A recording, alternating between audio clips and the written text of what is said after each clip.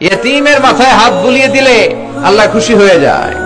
এতিমদেরকে ভালোবাসলে আল্লাহ তারে ভালোবাসে।